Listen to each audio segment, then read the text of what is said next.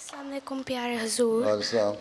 अब मेरा सवाल है कि एथियस लोग से हम दोस्त बन सकते हैं? हाँ अगर तुम्हारा इतना मज़बूत ईमान है कि तुम उसको एथियस को तबलीग करके खुदा की तरफ़ ले आओ हैं? तो फिर तो ठीक है लेकिन अगर तुम कमज़ोर ईमान की और तुम्हें ख़ुद नहीं पता अल्लाह ताला की एक्सपीरियंस ही नहीं है अल्लाह की ज़ात का अल्लाह ताला की ताकत का हैं?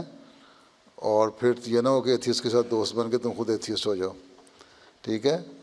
क्योंकि असर दूसरे का असर ज़्यादा डालता है। अपना इन्फ्लुएंस दोस्त बनाने की ज़रूरत नहीं हाँ उसका हमदर्दी करो, उसके उसके साथ हमारी सिंपथीज होनी चाहिए कि तुम उसको अल्लाह ताला की तरफ़ ले आओ। कभी मौका मिले तो दोस्ती से ना बुरा असर भी पड़ जाता है।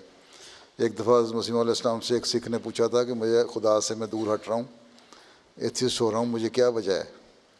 मुझे बताएँ किस तरह मैं अल्लाह ताला की दुआ रहा हूँ। अपने मज़हब के मुताबिक सिख था, हालाँकि वो तो आपने फरमाया था तुम्हारी जो स्कूल में पढ़ते हो ना तो जो तुम्हारा सीट फेलो है ना, स्कूल में, हैं, उससे उस सीट बदलो अपनी।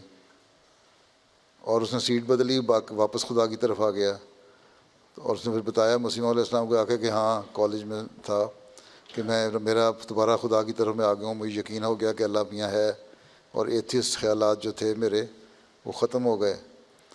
तो फिर अल्लाह ने मुझे फरमाया, कोई तुम्हारा दोस्त जिसके साथ तुम बैठते थे ना, वो एथियस था। और बाकी जब पता किया तो पता लगा वो एथियस था। बग़ैर बोले, बग़ैर बात किए, हैं? और असर डाल रहा था वो एथियस उस पर तो वो जो मज़हब वाला था, वो भी एथियस हो गया। दोस्ती का मतलब ये होता है कि बहुत गहरे ताल्लुक हम्म? उठना, बैठना हर वक्त हो तो वो तुम्हें इन्फ्लुएंस कर सकता है एथियस्ट अगर तुम्हारे पास पूरी दलील नहीं है खुदा ताला के लिए, पहले अपने आप को तैयार करो। अल्लाह ताला की हस्ती पे पूरा यकीन पैदा करो। तुम्हें पता हो कि खुदा क्या है, खुदा एग्जिस्ट करता है, खुदा ताला दुआएँ सुनता है, तुम्हारी दुआएँ सुनी, और फिर तुम उसकी हमदर्दी के लिए, उसको खुदा की तरफ़ लाने के लिए अगर उसको कभी कभी मिल लिया करो और उसको खुदा की बातें बताया करो तो ठीक है।